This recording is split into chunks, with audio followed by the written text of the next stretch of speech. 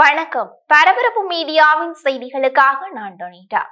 ரஷ்ய வாடகை ராணுவம் வாக்னர் குரூப்பின் எதிர்காலம் கேள்விக்குறியாகியுள்ள நிலையில் வாக்னர் குரூப்பை மற்றொரு ரஷ்ய வாடகை ராணுவம் மாற்றீடு செய்வதற்கான முயற்சிகள் செய்யப்படுவதாக கூறப்படுகின்றது. இந்த ரஷ்ய வாடகை ராணுவத்தின் பெயர் ரீடோட் இவர்களால் எந்த அளவுக்கு வேக்னர் குரூப்பை மாற்றீடு செய்ய முடியும்? இவர்கள் தம்மை மாற்றீடு செய்வதை வேக்னர் குரூப் அனுமதிக்குமா? இந்த கேள்விகளுக்கான பதில்கள் யாருக்கும் தெரியாது. வாக்னர் குரூப்பின் தலைவர் எவ்ஜூனி பிரிகோஜினும் அவரது வலது கையாக விளங்கிய டிமிட்ரி உட்கினும் பயணித்த விமானம் வீழ்ந்த பின்னர் வாக்னர் குரூப் எந்த திசையில் போக போகின்றது என்ற குழப்ப நிலை காணப்படுகின்றது. எவ்ஜூனி பிரிகோஜின் இருந்த போதே வாக்னர் குரூப் புட்டினின் முழுமையான கட்டுப்பாட்டுக்குள் இருக்கவில்லை. அதற்கு காரணம் உக்ரைன் யுத்தம்தான். வாக்னர் குரூப் சிரியாவிலும் ஆப்பிரிக்க நாடுகளிலும் செயற்பட்டு கொண்டிருந்த போது அதன் நிஜமான உரிமையாளர் புட்டின். நிறுவனத்தை நடத்தும் நபர் பிரிகோஜின் என்ற ரீதியில் பார்க்கப்பட்டது. அப்போது வாக்னர் குரூப்பின் ஆப்பிரிக்க நடவடிக்கைகள் ரஷ்யாவுக்கு நன்மை புட்டினுக்கும் நன்மை. பிரிகோஜினுக்கும் நன்மை என்ற ரீதியில் நன்றாகவே போய்கொண்டிருந்தது உக்ரைன் யுத்தத்தில் ரஷ்ய ராணுவம் திணறிய காலத்தில் முதலில் உக்ரைன் யுத்தத்தை கவனிக்கலாம். அதன் பின் ஆப்பிரிக்காவை பார்த்துக் கொள்ளலாம் என்று வேக்னர் குரூப்பை உக்ரைனுக்குள் இழுத்தது புட்டின் தான். அதுதான் அவர் செய்த மிகப்பெரிய தவறு. வாக்னரை உக்ரைன் யுத்தத்துக்குள் கொண்டு போனது புட்டினுக்கு சில நன்மைகளை பெற்றுக் கொடுத்தது என்னவோ உண்மை. கிழக்கு உக்ரைனில் நடந்த யுத்தத்தில் முக்கியமான சில நகரங்களை ஆக்கிரமிப்பதற்கு கை கொடுத்தது வாக்னர் குரூப் தான். ஆனால் அந்த நன்மைகள் எல்லாவற்றையும் விட மிகப்பெரிய தலைவலியை புட்டினுக்கு ஏற்படுத்தியதும் வேக்னர் குரூப்பின் உக்ரைன் யுத்தம் தான் ரஷ்யாவுக்குள் வேக்னர் குரூப் ஒரு திடீர் புரட்சியை தொடங்கி ரஷ்ய ராணுவ கட்டளை தளத்தின் தலைமையகத்தையும் கைப்பற்றி ரஷ்ய விமானப்படையின் விமானங்களையும் ஹெலிகாப்டர்களையும் சுட்டு வீழ்த்தியது. அதன் பின்னரும் பிரிகோஜினுக்கும் வேக்னர் குரூப்புக்கும் மன்னிப்பை கொடுக்க வேண்டிய சூழ்நிலை புட்டினுக்கு ஏற்பட்ட போதே அவருடைய பலவீனம் நன்றாக தெரிந்தது. திடீர் புரட்சி செய்த பின்னரும் ரஷ்யாவுக்குள் எவ்ஜோனி பிரிகோஜின் சுதந்திரமாக நடமாடி கொண்டிருந்தது ஒரு முக்கிய விஷயத்தை காட்டியது. அது புட்டினுக்கு எவ்ஜோனி பிரிகோஜினும் வேக்னர் குரூப்பும் அவசியம் தேவை. அதன் பின் எவ்ஜோனி பிரிகோஜின் விமானம் வீழ்த்தப்பட்ட பின்னணியில் இருந்தது யார் என்பது இன்னமும் மர்மமாக உள்ளது. உளவுத்துறை வட்டாரங்களில் பெரும்பாலும் பின்னணியில் இருந்தது புட்டினாக இருக்க முடியாது என்று கூறுகின்றார்கள். புட்டினுக்கு பிரிகோஜின் தேவையில்லை என்றால் அவர் எப்போதோ மேலே அனுப்பப்பட்டிருப்பார். குறைந்தபட்சம் ராணுவ புரட்சி செய்த பின்னர் கூட ரஷ்யாவுக்குள் சுதந்திரமாக நடமாட முடியாத சூழ்நிலை ஏற்பட்டிருக்கும். புட்டின் தமக்கு எதிராக தும்மும் ஆட்களை கூட விட்டு வைத்ததில்லை. அவர்கள் பாதுகாப்பற்ற பல்கேனிகளில் நடமாடினார்கள். பாதுகாப்பற்ற தேநீர் குடித்தார்கள். அவையெல்லாம் ரஷ்ய ஜனநாயகம். ஆக்கிரமிப்பு ஆதரவாளர்களை கேட்டால் தெய்வீக நிகழ்வு என்பார்கள். அது அவர்களது தெய்வத்தின் லீலை என்பது ஆக்கிரமிப்பு ஆதரவாளர்களுக்கு நன்றாகவே தெரியும். போர் குற்றவாளியை ஆதரிப்பவர்கள் அவரது லீலைகளை ஆதரிக்க மாட்டார்களா என்ன? பிரிகோஜின் செய்த அனைத்தையும் புட்டின் சகித்து கொண்டார் என்றால் புட்டினின் மிகப்பெரிய புதையல் பிரிகோஜின். இப்போது வாக்னர் குரூப்பின் அடுத்த நகர்வு எப்படி இருக்கும்? அவர்கள் எப்படி செயற்பட போகின்றார்கள் என்பதெல்லாம் புட்டினின் துரதிர்ஷ்டமாக அவரது கைகளில் இல்லை என்பதுதான் நிஜம். காரணம் புட்டின் வளர்த்துவிட்ட வாக்னர் குரூப்புக்கு உள்ளே ரஷ்ய ராணுவத்துக்கும் புட்டினுக்கும் எதிரான ஒரு பலமான குழு இருக்கின்றது.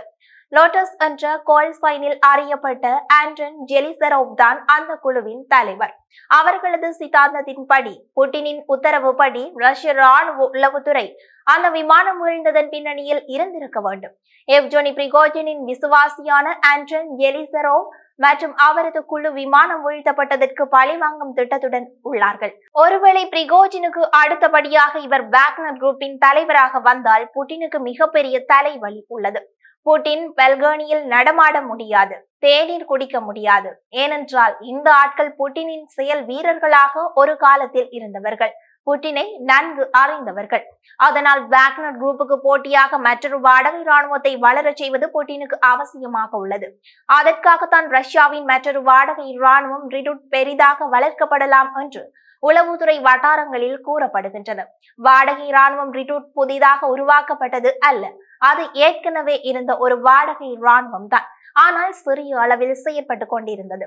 கம்யூனிசம் இருந்த சோவியத் யூனியன் உடைந்து வெவ்வேறு நாடுகளாக மாறிய பின்னர் ரஷ்யாவில் சிலர் திடீர் கோடீஸ்வரர்களாக மாறினார்கள். அப்படி மாறியவர்களில் ஒருவர் ஜெனடி டிம்சென்கோ. இந்த நபர் புட்டினுக்கு நெருக்கமானவர். எப்படியென்றால் புட்டின் போலவே இவரும் சோவியத் உளவுத்துறை கேஜிபியில் பணிபுரிந்தவர். சோவியத் யூனியன் இருந்தவரை அனைத்தும் அரசு சொத்து என்றிருந்தது. அனைத்து வர்த்தகங்களும் அரசால் நடத்தப்பட்டன. சோவியத் யூனியன் உடைந்து ரஷ்யா ஒரு நாடாக மாறிய பின் விஷயம் தெரிந்தவர்கள் மற்றும் செல்வாக்குள்ளவர்கள் ஒவ்வொரு வர்த்தகத்தை தமது கையில் எடுத்துக்கொண்டார்கள் கேஜிபியில் பணிபுரிந்த ஜெனடி டிம்சென்கோ எடுத்துக்கொண்டது எரிவாயு வர்த்தகத்தை. புட்டின் கையில் எடுத்தது ஒரு வகை கடத்தல் வர்த்தகத்தை. இப்போது ஜெனடி டிம்சென்கோ ரஷ்யாவின் எரிவாயு செக்டரில் மிகப்பெரிய புள்ளி. இவர் பெரிய அளவில் வளர்ந்ததற்கு புட்டினும் ஒரு காரணம். இந்த நபரை பற்றி நாம் ஏன் கூறுகின்றோம் என்றால் இந்த நபர் தம்மையும் தமது நிறுவனங்களையும் வர்த்தகத்தையும் பாதுகாப்பதற்கு உருவாக்கிய வாடகை ராணுவம் தான் ரீடோட். அவருக்காக அந்த வாடகை ராணுவத்தை உருவாக்கி கொடுத்தவர்கள் ரஷ்ய பாதுகாப்பு அமைச்சர் ரஷ்ய வெளியக உளவுத்துறை மற்றும் ரஷ்ய சிறப்பு படை பிரிவு ஆகியவற்றிலிருந்து ஓய்வு பெற்ற அதிகாரிகள். இப்போது இந்த வாடகை ராணுவம் ரஷ்யாவுக்குள்ளேதான் இயங்குகின்றது. எரிவாயு வர்த்தகத்துக்கு பாதுகாப்பு கொடுப்பதுதான் இவர்களது வேலை. புட்டினின் உத்தரவுப்படி ரஷ்ய ராணுவ உளவுத்துறை இந்த வாடகை ராணுவத்தை வளர்த்துவிட முயற்சிக்கின்றது. ஆனால் உள்நாட்டில் எரிவாயு வர்த்தகத்துக்கு பாதுகாப்பு கொடுத்த ஒரு வாடகை ராணுவத்தை வைத்து ஆப்பிரிக்காவிலும் மத்திய கிழக்கிலும் மிக திறமையாக செயற்பட முடியாது. அது தவிர வேக்னர் குரூப் முழுமையாக அழிக்கப்படவில்லை. அதன் ஆட்கள் இப்போதும் இருக்கின்றார்கள். அதன் தளபதிகளும் இருக்கின்றார்கள். வேக்னர் குரூப்பின் துருப்புகள் ஆப்பிரிக்காவிலும் இருக்கின்றார்கள். அதனால் மற்றொரு ரஷ்ய ராணுவம் ஆப்பிரிக்காவுக்கு போட்டியாளராக போனால் இருதரப்புக்கும் இடையே மோதல் ஏற்படும். மோதல் ஏற்பட்டால் வேக்னர் குரூப்பின் கையோங்கும் என்பது வெளிப்படை. காரணம் அவர்களுக்கு ஆப்பிரிக்காவில் இருக்கும் பலவிதமான தொடர்புகள். இவர்களுடைய மோதல் ரஷ்யாவுக்குள் நடந்தால் புட்டினால் கட்டுப்படுத்த முடியும். ஆனால் ஆப்பிரிக்காவில் நடந்தால் அது அவரது கையை மீறிய செயலாக மாறிவிடும். அதனால் புட்டின் தமது ஆதரவாளர் ஒருவரை வேக்னர் குரூப்பின் தலைவராக மாற்றும் திட்டத்தில் உள்ளார் என்று கூறப்படுகின்றது. வேக்னர் குரூப்பின் தளபதிகளில் ஒருவரான ஆண்டி ட்ரோஷேவ் புட்டினின் ஆள் என்று பரவலாக அறியப்பட்டவர். இவரை தலைவராக பார்க்கின்றார் புட்டின். வேக்னர் குரூப் என்பது மற்ற தனியார் நிறுவனங்கள் போல ஒரு நிறுவனம் அல்ல இவர்கள் துப்பாக்கிகளுடன் திரியும் ஆட்கள். இதில் யாராவது ஒருவர் மீது யாருக்காவது சந்தேகம் வந்தால் தமக்கிடையே பேசி தீர்க்க மாட்டார்கள். துப்பாக்கிகள் தான் பேசும். பொதுவாகவே வேக்னர் குரூப்பின் தளபதிகள் எல்லோருமே எப்ஜோனி பிரிகோஜினின் விசுவாசிகள். வேக்னர் குரூப்பின் துருப்புகளும் அப்படித்தான். பிரிகோஜின் பயணித்த விமானம் வீழ்த்தப்பட்டதால் அதன் பின்னணியில் புட்டின் இருக்கலாம் என்ற சந்தேகம் வேக்னர் குரூப்பில் பெரும்பாலானவர்களுக்கு உள்ளது. அப்படியான வேக்னர் குரூப்பில் புட்டினின் ஆதரவாளர் என்று வெளிப்படையாக பேசப்படும் ஒரு நபரை தலைவராக்குவது அவ்வளவு சுலபமான காரியம் அல்ல அதனால்தான் மற்றொரு வாடகை ராணுவத்தை காட்சிக்குள் கொண்டு வர திட்டமிடுகின்றார் புட்டின்.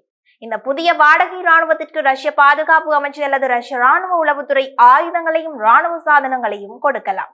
ஆனால் இப்போது சிறிய அளவில் இயங்கும் இந்த வாடகை ராணுவம் பெரிதாக மாறுவதற்கு பயிற்சி பெற்ற துருப்புகள் தேவை. ஏற்கனவே உக்ரைனில் ஒரு யுத்தம் நடந்து கொண்டிருக்கின்றது.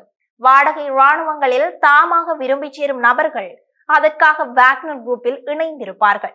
அல்லது ரஷ்ய ராணுவத்திலாவது இணைந்திருப்பார்கள்.